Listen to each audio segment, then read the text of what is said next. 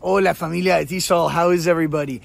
This is National Geographic explorer and host Andres Ruzo, and I just wanted to take a quick opportunity to say, really looking forward to TESOL 2020.